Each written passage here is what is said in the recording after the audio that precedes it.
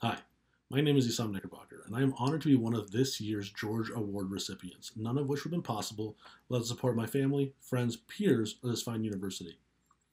Pepperdine's FEMBA program has allowed me to fulfill a long-time dream of not only joining the Pepperdine Graziadio family, but also of pursuing my master's degree. When I first came to this university, I had promised to give my all, but to also take as much as I could to change my life and the life of those around me.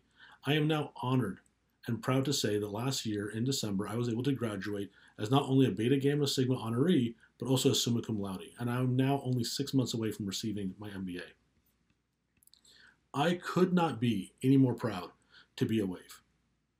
I was lucky enough to have been raised in the Malibu community, and through Pepperdine and its incredible faculty, to have also been built up and shaped by it. I plan to go forward wholly typifying this university's values and embodying that which has so gracefully been given to me, so I may raise myself with one hand and raise my community with the other. Thank you.